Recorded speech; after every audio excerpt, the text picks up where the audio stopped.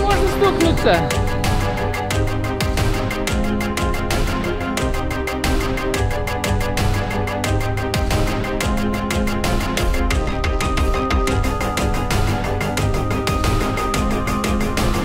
Головой запуск стукнешь, он чуть не